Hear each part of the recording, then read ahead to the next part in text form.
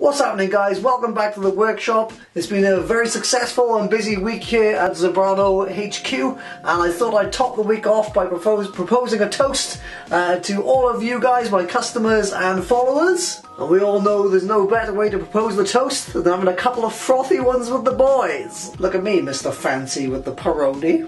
So in order to get this party started, I decided to make this bottle opener that says blood, sweat, and beers. I made this project with a few simple tools and materials, including this bar blade bottle opener, bar blade, this trusty pyrography tool, some serious glue, a load of old wood veneers.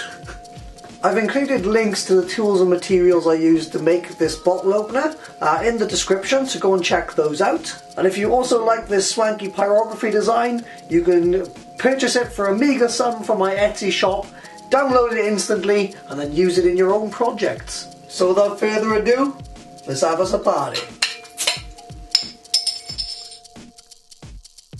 To begin the project, I glued up a few pieces of wood veneer using the Serious glue. Uh, each piece was about 80mm by 40mm.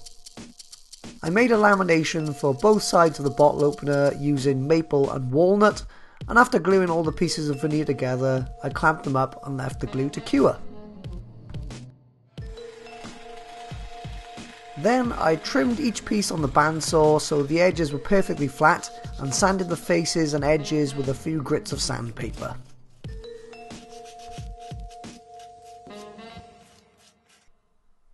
I once again used the serious glue to stick the pieces of wood to the bottle opener. I just applied a generous amount of glue to the wood, smeared it all in with a brush and then clamped it down between two pieces of wood to ensure an even amount of pressure was applied. Time for the boring bits. This is how I transferred my design to the wood and for this stage I need to show you how I use some technology. So this is a free image editing software called GIMP and all I did was open a new project ensuring the resolution was set to 300 dpi for good quality.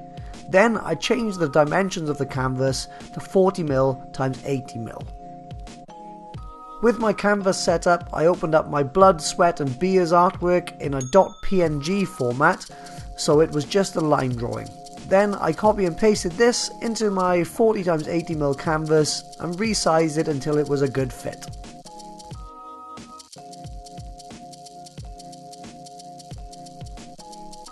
I printed the artwork, cut it out and taped it to a piece of carbon copy paper.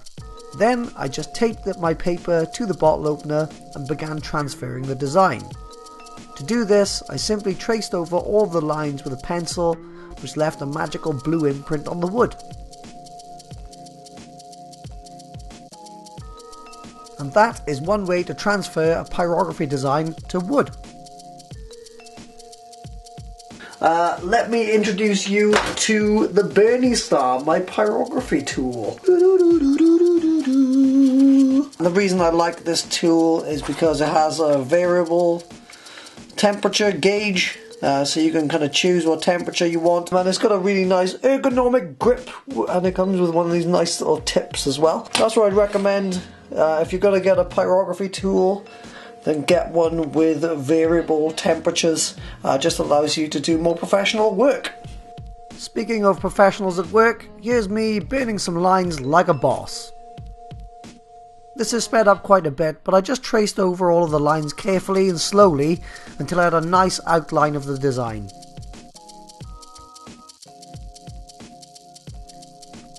Next, I did a bit of shading by turning the temperature down on the tool and picking out a few details, like where the scroll overlapped, uh, the beer inside the bottle, and a few shadows here and there. These darker bits really brought the design to life, and here's how the finished artwork looked. To finish up, I applied a few layers of oil, and this really made the grain pop. So that brings me to the end of the project. Uh, honestly, I'm not really sure if I even like this uh, one that much. It's not perfect by any means. Definitely has a, a few mistakes, but that just adds to its endearing handmadeness, I guess. it's no oil painting, but it facilitates me indulging my drinking passion. As always, thank you for watching. Check out those pyrography designs on Etsy. Check out the links to the gear on eBay. Party hard, bro!